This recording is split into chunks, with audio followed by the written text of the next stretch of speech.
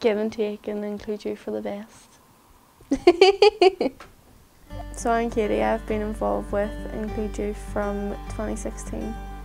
I was on the Give and Take programme for nine months. I got involved from Ian Donnelly. I went to Lochshore doing one-to-one -one with a teacher in there and she referred me because she knew it was smaller groups and stuff and the, it was better for me with mental health issues and anxiety and stuff.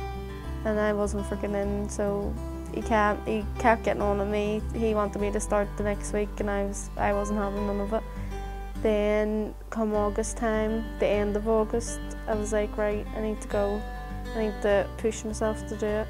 And then I finally got the courage to go and stood and had a panic attack outside first and went home and cried to my nanny and didn't go in.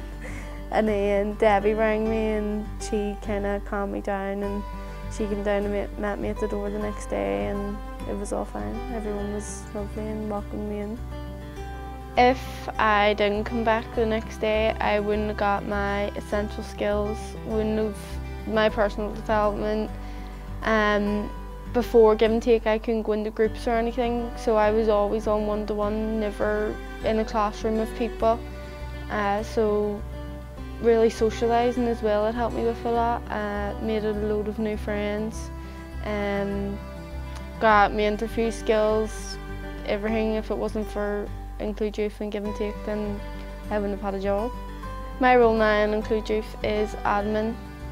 I enjoy it, and I'm glad that I'm still here with everyone that basically helped me on the journey. Everyone that I'm working with now was a part in it. Well, I want to be able to get a car soon and go do a bit more travelling and I also met my boyfriend on Give and Take so maybe settle down and see what happens. so, still deserve, I should be on that whole board.